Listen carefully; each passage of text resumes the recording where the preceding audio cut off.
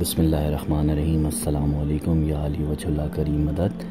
دراصل تمام میرے سبسکرائبرز کو یہ بتاتا چلوں کہ کچھ دنوں سے، بلکہ کچھ مہینوں سے میں کوئی بھی ویڈیو معلومات جو پتھروں کے حوالے سے تھی، جو آپ تک پہنچانی تھی، جو قرآن کے آیات کی صورت میں اور پاک رسول اکرم صلی اللہ علیہ وآلہ وسلم کی احادیث اور ان کے اہل بیت علیہ السلام کے اقوال کی صورت میں آپ تک پیش کرنی تھی، وہ میں پیش نہیں کر پایا۔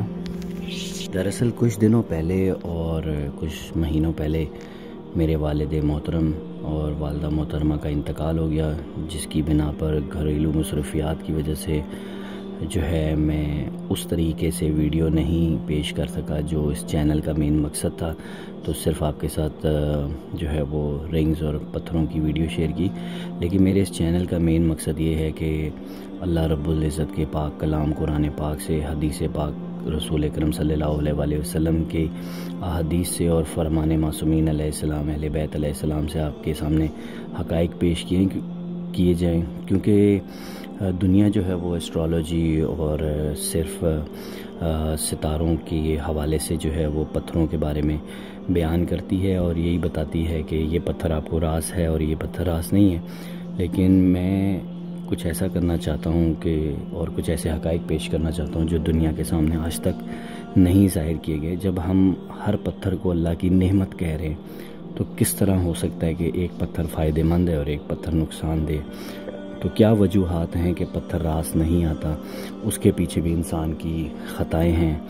انسان کی کم علمی ہے، جس کی وجوہات کی بنا پر وہ پتھر جو ہے وہ آپ کو نقصان نہیں پہنچاتا، بلکہ آپ جو ہیں اس پتھر کی حقیقت کو نہیں جانتے، اس وجہ سے جو ہے اس کے نقصانات آپ کے جسم پہ ظاہر ہوتے ہیں، آپ کے مالی حالات جو ہیں وہ بہتر سے بدتر بھی ہوتے ہیں۔ یہ اسی طرح ہی ہے جس طرح انسان اگر نماز پڑھے تو اس کی روحانی طاقت جو ہے وہ بڑھ جاتی ہے۔ اور روزہ رکھے تو جسمانی صحت، حج کے، زکوٰۃ کے تمام شرعی احکامات جو ہیں وہ آپ کے وجود پر جو ہے بہترین جو ہے طریقے سے آپ کی تربیت کرتے ہیں اور آپ کے اثرات روحانی طور پر بھی اور جسمانی طور پر بہتر ہوتے ہیں۔ تو انشاءاللہ تعالی انشاءاللہ تعالی میں کوشش کروں گا کہ جلد سے جلد آپ کی خدمت میں بہترین ویڈیوز ہر ہفتے دو ویڈیوز ڈاؤن لوڈ کی جائیں، جس سے انسان کے رزق معرفت اور اس کے دنیا میں مزید اضافہ ہو۔ تو اپنی دعاؤں میں یاد رکھیے گا۔ تحفہ یا علی وجہ اللہ کریم مدد، مولا ہم سب کا ناصر و مددگار ہو الہیہ